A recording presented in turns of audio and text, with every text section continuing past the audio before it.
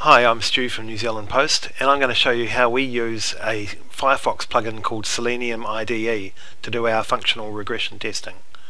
So the first thing we do is open up Selenium, um, having already downloaded it onto your Firefox, and then choose the site that you want to test. After that you just browse to your hard drive, open up either your individual test cases or a, a collection of test cases called a test suite and then once you've opened that it pops up onto the right hand side tool here. You have the option of either running them singularly uh, using the button on the right or um, as a collection using the left hand one and we'll do this uh, collectively so all three of the test cases run concurrently and as you can see it's running through now.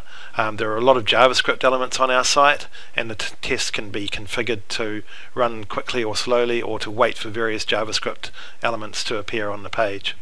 As you can see here um, it's emulating the um, action of a front-end user entering values um, expanding and contracting boxes etc in Selenium on the right hand side here you can see that the test's all going green which means that um, the test conditions that you've pre-built into the tests are being met and therefore um, it's passing the testing. Um, once it's finished you'll get your um, final total on the right hand side and you'll see how many tests have passed and how many have failed.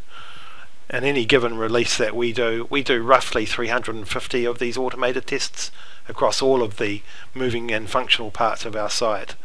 Um, it can save us up to around about two days of testing. We can get a full UAT done in around about three hours, whereas probably to get a human being to do all of these tests, you're looking at around about three days. I'll be back in future blogs to um, show you how to create some basic tests.